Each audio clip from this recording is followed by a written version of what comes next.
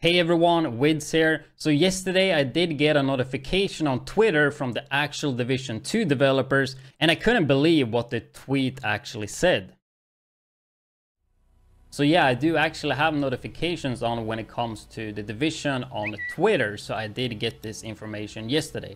However, as you can see in this room. You've probably never seen it before, and that's because I recently moved to a new apartment, so I finally have my own room to my PC, which I'm pretty excited about. And that is also why you haven't seen me posting it or streaming in like the last two weeks. But now everything's starting to get done, so do expect more videos now again and also more streams on Twitch. I am planning to probably check out Once Human, maybe check out First Descendant a bit more, which I did try on stream, but personally, like, I'm just not feeling First Descendant. But that might be another video. If you're playing any of uh, those games, Once Human or First Descendant, please let me know and tell me what, which one I should play. But anyway, let's talk about this uh, mind-blowing tweet from the Division 2 team on Twitter. But before we do that, I want to talk about today's video sponsor, Metalcore. Metalcore is a third-person sci-fi MMO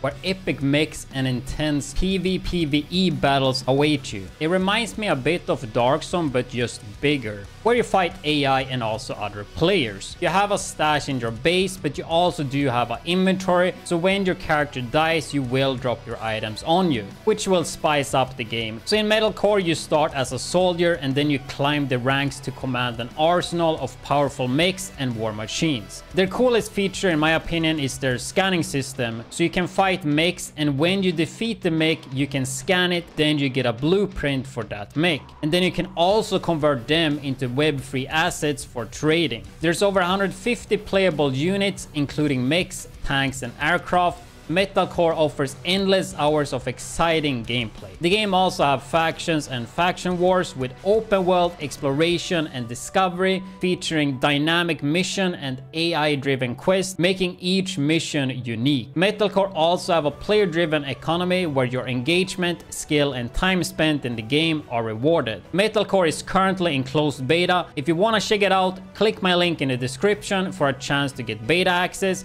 or get guaranteed access by purchasing a Founders Pack. I will also later this week give away free beta access keys on my stream. A big thanks to Metalcore for sponsoring this video and make sure you go follow them at Play Metalcore on Twitter and use the hashtag PlayMetalcore and Metalcore Game to share your adventures. Now back to the video. Alright, so the Division 2 team did tweet this message yesterday saying this. A message from the Division 2 team. Agents, we hear you and we want to assure you that we have carefully considered your feedback after the announcement of Season 2.0. And they actually took quite some time um, to, to give us a real response. So it's gonna be interesting to see what they say. But it's understandable, it's a, it's a big change, right? So yeah. After thorough examination and discussions with the team, we have decided to re-evaluate Season 2.0 with particular attention to seasonal characters with the goal of progressing without them. This change will not impact the previously announced Year 6 plan, but it will require us to assess the changes necessary to the new seasonal experience, which will be integrated with Year 6 Season 2 this fall.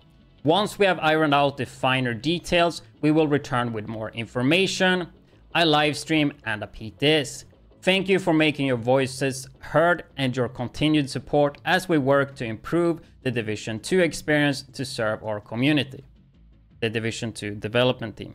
Okay guys, so all the voices you guys did, they have heard you and I think this should be pretty good it's something that I said, and even the first time I heard about this, I never understood why they tried to force people to, to do this, right? Like, give us incentives, but like for the people that just want to follow the lore, it doesn't make sense to force them to, to create a new seasonal character. So with this, the way I read it is that, yeah, like they will try and make it uh, possible to do this, to, to do the, the content without a seasonal character, right? Which should make a lot of people happy. Everything else will stay the same, so most likely you can just play your main with the, the new season 2.0, right? All the stuff. And you can still create a seasonal character, like seasonal characters will still be there, but they won't be forced upon you as before. Even though like I like seasonal characters and I was pretty excited for it, I am still a bit excited for it, but this also makes me question, right? Like Division 2 doesn't have the biggest player base, also not the smallest. But if there's not enough incentives, then maybe nobody will play a seasonal character. And then I see already in the comment section below, but yeah, isn't that good? People play whatever they want. And I mean, if you wanna if you wanna re-level up a character, you don't need seasonal characters. Just delete your character and create a new one. No, it's not. It's not the same, right? Like the recent seasonal characters in a lot of games are exciting, taking Diablo as an example, is because everybody starts at an even even playing field, right? And that's yeah, and you just go from there, making it quite exciting.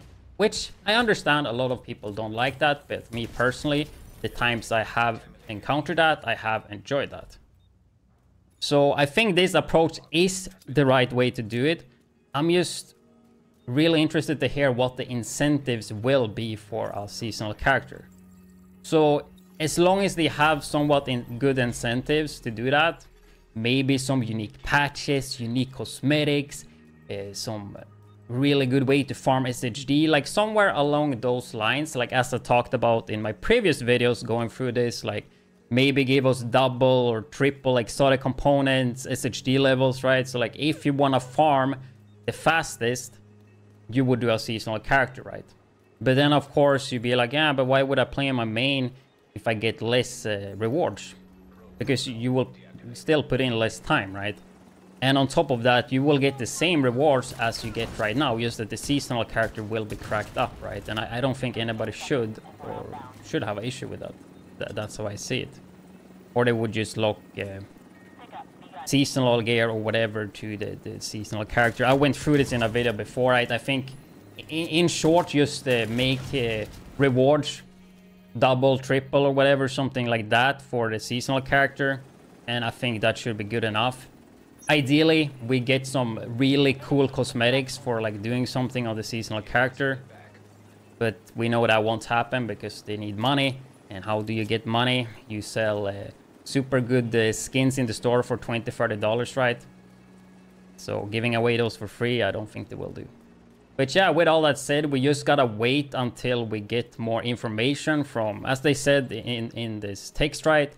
They will give us more information and they said a live stream and a pts will be there so we will be able to test stuff.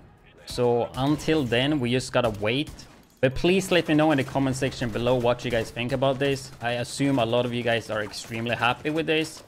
For me, I think this is a good thing. I mean, community were in big uproar and they responded, right? Which even if, let's say I didn't like this, I think that is still pretty good from the developers. You should still always, like you should listen to your fan base, of course, and player base.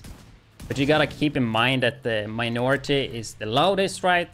So you shouldn't just fully listen to, to the community like that.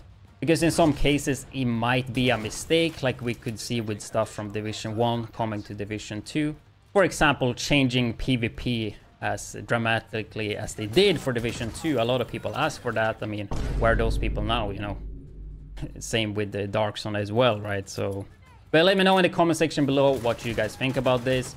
And I will be live streaming on Twitch definitely this week, most likely today. If you're watching this on Saturday, then it means the video got out. And probably I will actually start with Division 2 because I have to finish the apparel event. And eventually I will get back to the Dark Zone and finish my expertise to 25. But with that said, thank you guys for watching the video and make sure you go to my stream at twitch.tv slash widdz and subscribe, like, and put notifications on so you don't miss my next YouTube video. Take care.